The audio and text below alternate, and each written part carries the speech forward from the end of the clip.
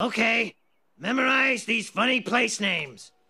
Walla Walla, Keokuk, Cucamonga, Seattle. Stop it! You're killing me. Seattle.